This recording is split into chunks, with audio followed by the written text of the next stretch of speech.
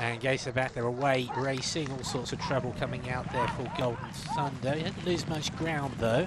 Amazon King a little bit slow out, so was Body Body on the inside, but Donghang the favourite.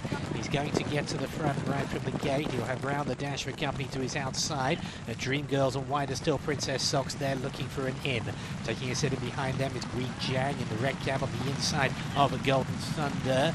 And then there's Dream Girls just dropping back as Brode Gasok works around the outside. A few lengths more back to Maparam in company with Chon and Chong and the two at the back there at Amazon King. Also Lucky Club and Body Body brings up the rear. So they come around the turn. It's Dongheng on the inside of round the dash. Princess Socks three wide. Widest of all is Brode Gasok.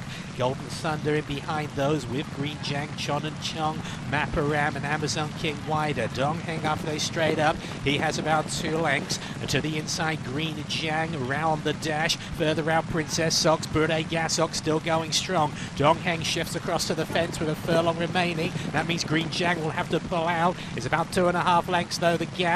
Brode Gasok coming up into third place. Dream Girls working home well. It's still Dong Heng. Green Jang is gaining. Dong Heng just about has it though from Green Jang in second. And Dream Girls third. Dongheng